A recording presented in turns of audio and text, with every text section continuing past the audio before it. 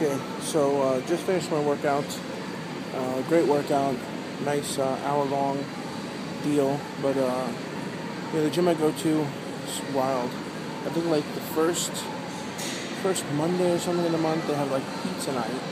Where they bring out pizzas, and then uh, they have uh, the first no the second Tuesday of the month. I'll show you right now what they bring out. Hold on.